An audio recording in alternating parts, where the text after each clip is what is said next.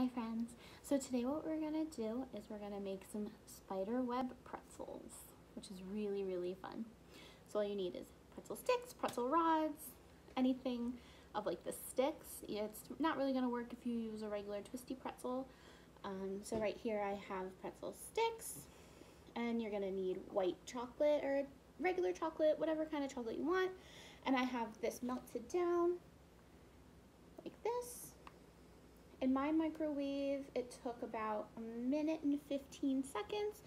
Every microwave is different. You can use chips, you can use melts, you can use any kind of melty chocolate. Use M&Ms if you want.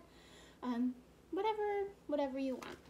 So now I'm gonna take my chocolate and I'm gonna put it into my Ziploc bag.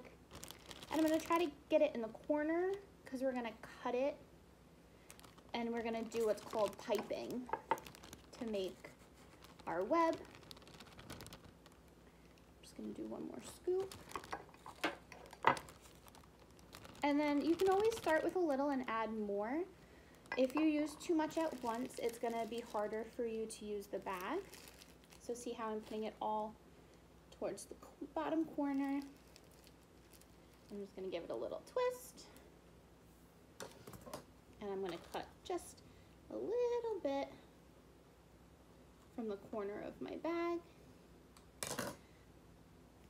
So now you can see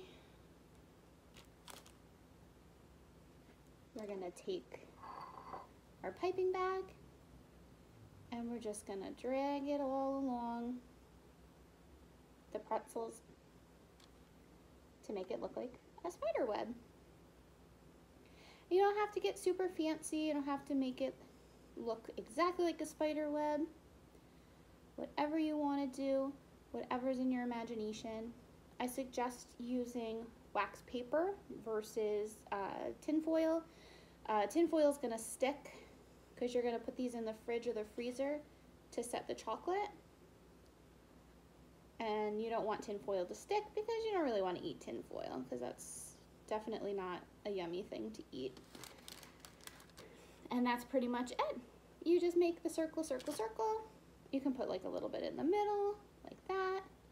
Branch it off.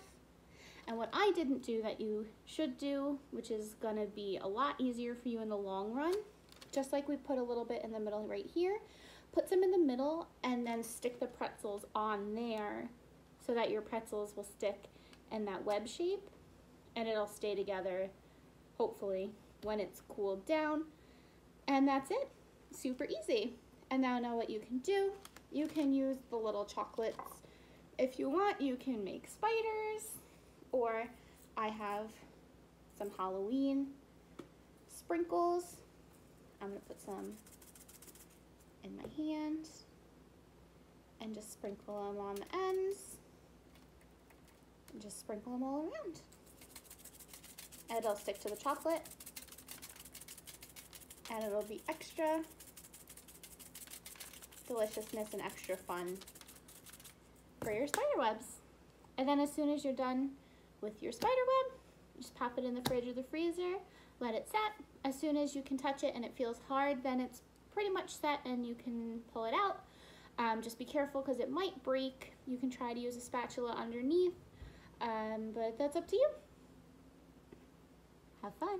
Happy Halloween.